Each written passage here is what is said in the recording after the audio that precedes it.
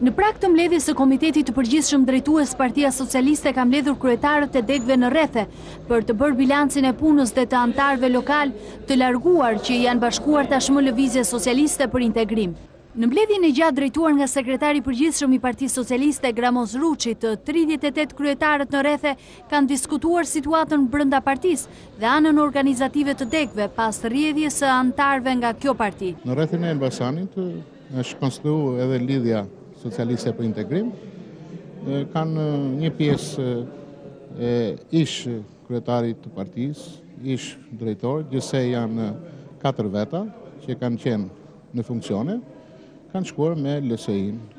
Vazhdojnë diskutimet për forcimin e punës të partisë në anë organizative, për forcimin e strukturave të partisë, për të përgatitur për fazën e dytë të kuvendimit të madh që do të bëjë partia socialiste. Sekretari i përgjithshëm i cili ka mbledhur kryetarët e degëve dhe ka dhënë udhëzimet e detyra deri për në kuvendimin e madh, Nuk ka dashur të flasë. Burime brenda kësaj mbledhjeje bëjnë të ditur se kryetarët kanë përcjellë shqetësimin e bazës rreth debateve të rihapura në Partinë Socialiste.